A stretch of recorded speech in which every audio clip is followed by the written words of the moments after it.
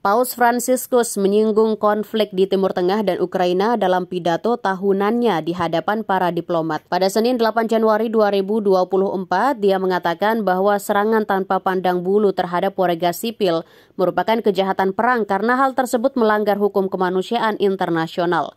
Paus Franciscus, 87 tahun, menyampaikan komentarnya dalam pidato selama 45 menit di hadapan para utusan yang diakreditasi Vatikan dari 184 negara. Maka dari itu, pidato itu kadang-kadang disebut sebagai pidato keadaan dunia. Di dalamnya, ia juga berbicara tentang konflik di Afrika dan Asia, krisis migrasi di Amerika Serikat dan Amerika Latin, perubahan iklim dan penganiayaan terhadap umat Kristen. Menyatakan keprihatinannya bahwa perang antara Israel dan kelompok Palestina Hamas di jalur Gaza dapat menyebar ke Timur Tengah yang lebih luas. Paus menyerukan gencatan senjata di setiap lini termasuk Lebanon. Dilansir AFP, dia juga mengutuk serangan lintas batas Hamas pada 7 Oktober dari Gaza ke Israel sebagai tindakan terorisme dan ekstremisme yang mengerikan. Paus menyerukan untuk segera membebaskan mereka yang masih ditahan oleh militan di Gaza. Dalam pernyataan yang menghubungkan dua konflik besar tersebut, Paus mengatakan bahwa peperangan modern sering kali tidak membedakan antara tujuan militer dan sipil. Tidak ada konflik yang tidak berakhir dengan serangan tanpa pandang bulu terhadap penduduk sipil, katanya. Peristiwa di Ukraina dan Gaza adalah bukti nyata dari hal ini.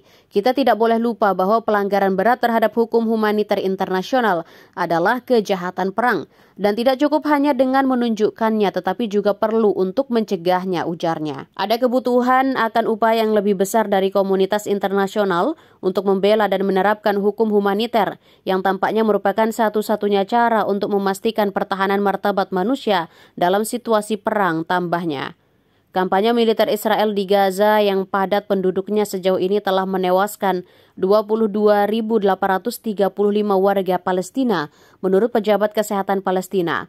Israel mengatakan 1.200 orang tewas dalam serangan Hamas pada 7 Oktober dan sekitar 240 orang disandra.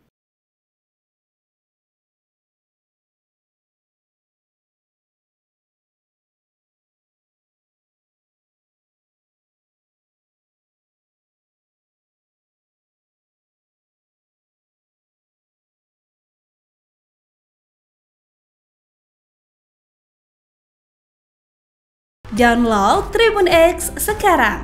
Menghadirkan lokal menjadi Indonesia.